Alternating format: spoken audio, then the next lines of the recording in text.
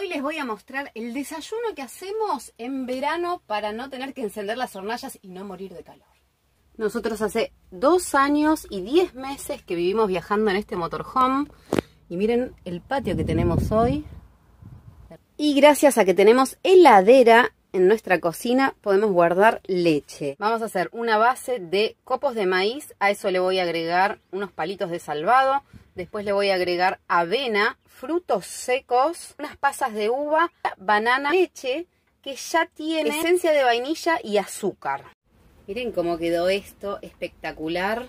Si no te gusta la leche, le puedes agregar yogur en vez de leche, pero se los recomiendo